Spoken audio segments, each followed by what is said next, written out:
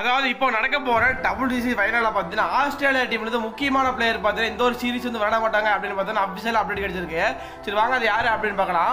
அது வேற யார் இல்லைங்க நம்ம ஜோஸ் யாசல் விட்டு தான். ஏன்னா அவர் பார்த்தீங்கன்னா வந்து பிராக்டிஸ் எடுக்க போது பார்த்தீங்கன்னா வந்து காயம் ஏற்பட்டுச்சு. அதனால பார்த்தீங்கன்னா இந்த ஒரு மேட்ச் வந்து விளையாட மாட்டாருங்க அப்படின்னு பார்த்தீங்கன்னா ஆஸ்திரேலியா கிரிக்கெட் வாங்க பார்த்தீங்கன்னா வந்து அபிஷியல் அப்டேட் சொல்லிட்டாங்கன்னு சொல்லலாம்.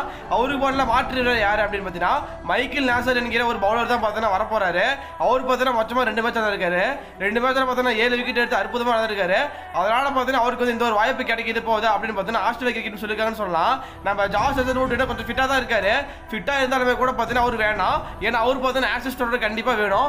ஏன்னா ஆக்சஸ் தொடரில் பார்த்தீங்கன்னா அஞ்சு மேட்ச் இருக்கு. அதனால பார்த்தீங்கன்னா நம்ம ஜோஸ் ரூட் வந்து ஓய்வு எடுக்க இந்த ஒரு டெஸ்ட் தொடரில் கண்டிப்பாக பார்த்தீங்கன்னா ஆக்சஸ்க்கு அவர் தான் தேவைப்படுவார்.